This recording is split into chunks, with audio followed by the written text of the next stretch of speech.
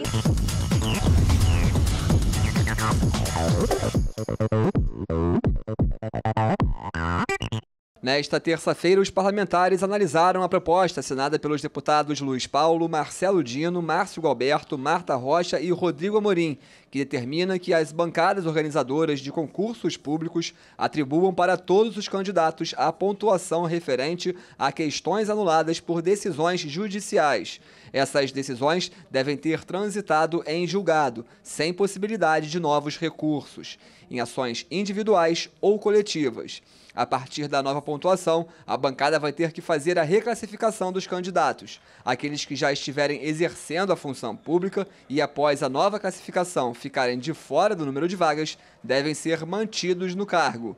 Já os novos classificados adquirem o direito a prosseguir com as demais etapas do concurso. A proposta aprovada segue agora para a sanção ou veto do governador. O que a gente tem observado é o seguinte: é que individualmente os candidatos procuram a justiça para buscar a solução do seu problema. Alguns ganham e outros ainda estão em andamento. Então, o que a gente está pedindo é que, uma vez acontecendo uma vitória transitada em julgado, essa conquista seja estendida a todos os candidatos, não havendo necessidade que cada candidato busque o seu direito na justiça. Quando essa lei for sancionada, ela passa a ser um importante instrumento para reconhecer o direito de todos, inclusive e principalmente na justiça. Do ponto de vista da isonomia, esse preceito de que tem 400 que não tiveram não, não venceram na justiça e somente 40 venceram, no meu entendimento, isonomia, bastou um vencer e esse direito tem que valer para todos. E é isso que a lei está dizendo. Analisado também o projeto que pede a criação de um canal de atendimento e comunicação online para que pessoas com deficiência física possam informar suas dificuldades e necessidades. Os dados vão ser utilizados para ampliar a acessibilidade no Estado. O portal, implementado pela Subsecretaria Estadual de Cuidados Especiais, vai reunir denúncias, reclamações, sugestões e informações sobre as dificuldades encontradas no cotidiano das pessoas com deficiência física. O projeto dos deputados Fred Pacheco e Índia Armelau foi aprovado em segunda discussão e depende agora da aprovação do governador para ser transformado em lei. E foi votado o projeto que cria no Estado o Programa Fluminense de Atendimento às Pessoas com Doença Renal. A proposta tem o objetivo de promover o acesso igualitário e de qualidade ao tratamento de hemodiálise para os pacientes com insuficiência renal. Entre as ações do programa está a garantia de todo paciente poder realizar hemodiálise em uma distância de até 40 quilômetros da sua residência, ampliação dos horários de funcionamento das clínicas de hemodiálise, além de capacitação dos profissionais de saúde especializados neste tratamento, e a criação de um grupo de apoio e assistência psicológica para pacientes e familiares. O projeto da deputada Lucinha foi aprovado em segunda discussão e segue para análise do governador. Em primeira discussão, um projeto apresentado pelo deputado Brazão. O parlamentar pede a instalação de placas informativas em português, inglês e espanhol para orientar turistas que visitam o Rio de Janeiro.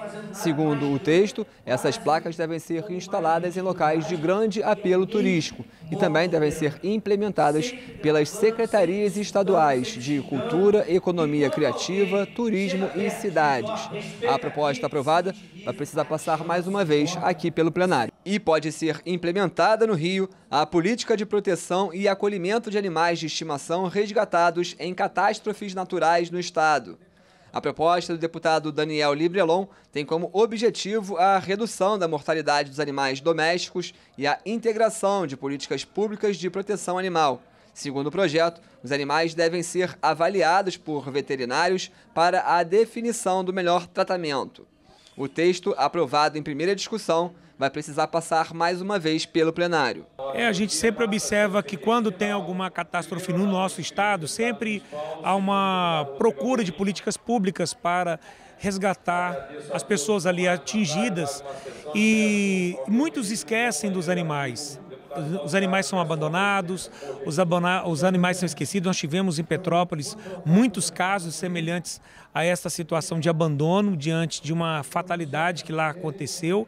E muitas ONGs, muitas pessoas de coração aberto com o cuidado animal têm sofrido muito nessa questão da falta de políticas públicas. Então, quando nós temos um projeto de lei se tornando lei no nosso Estado, dando legitimidade a um suporte a essas ONGs, a estas pessoas, recebendo um tratamento veterinário para vencer qualquer doença, qualquer é, situação que aquele animal ele venha passar, para que ele venha estar apto para adoção para conhecer uma outra família, para obter um novo lar e também ter os cuidados necessários que um animal precisa. Também foi analisada a proposta apresentada pelo ex-deputado Atila Nunes, que pede a criação de um programa de oportunidades e direitos para combater as discriminações e também incentivar a igualdade racial, a diversidade e solidariedade. A proposta foi aprovada em primeira discussão e vai precisar passar mais uma vez aqui pelo plenário. Oh.